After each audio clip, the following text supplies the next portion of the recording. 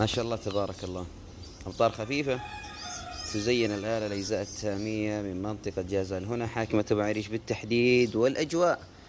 كما نشاهدها في هذه الأثناء. ما شاء الله تبارك الله. خير مقبل بإذن الله. ويوم سابع يسجل حضورا مطريا على أجزاء واسعة متفرقة من منطقة جازان. فنسأل الله عز وجل أن يطرح في هذه الأمطار الخير والبركة. ما شاء الله تبارك الله. اللهم صيبا نافعا يا رب. اللهم صيبا نافعا يا رب.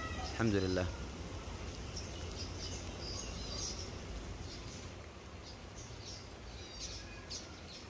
اللهم لك الحمد والشكر يا رب.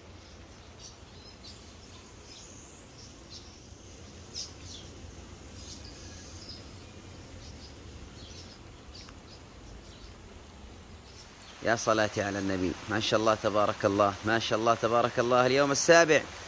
والأمطار تتواصل على أجزاء واسعة من منطقة جازان كما تشاهدون في هذه الأثناء بداية هطولات الأمطار على الأجزاء التهامية من منطقة جازان. اللهم صيبا نافعا يا رب اللهم صيبا نافعا يا رب اللهم صيبا نافعا يا رب. اللهم اجعلها أمطار خير وبركة وعم بنفعها سائر البلاد والعباد.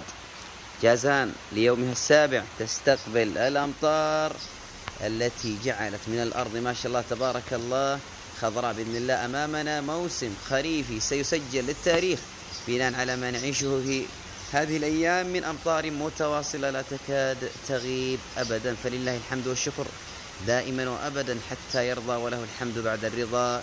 يا إلهي اجعلها أمطار خير وبركة نافعة غير. السلام عليكم ورحمة الله وبركاته. أسعد الله أوقاتكم بكل خير. اليوم السابع لله الحمد.